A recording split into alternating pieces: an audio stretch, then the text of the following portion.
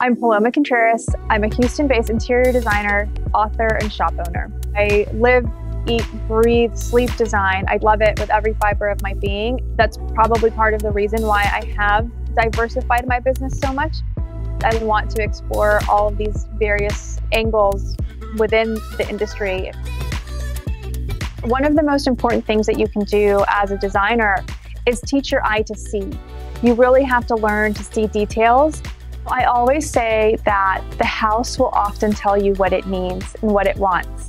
I firmly believe that the architecture dictates a lot of what the decor should be. If you walk into a space, you're going to immediately notice the light and how that affects color.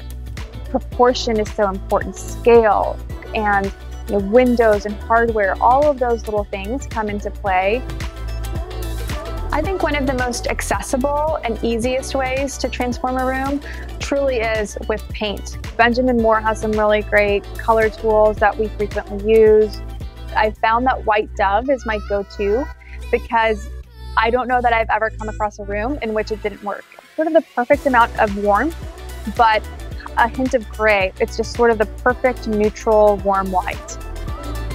I really do care about making this world more beautiful and doing so in a way that helps others to live their best lives.